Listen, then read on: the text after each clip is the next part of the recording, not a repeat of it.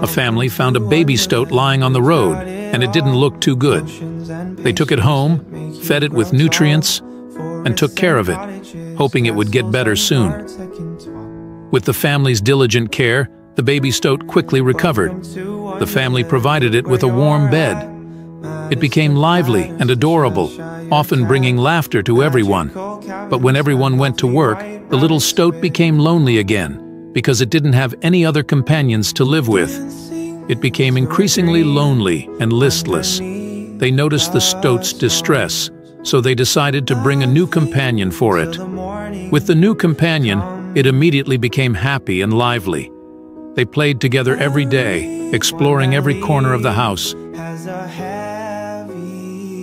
The little stoat was thrilled, and this family was truly kind, providing it with a perfect life.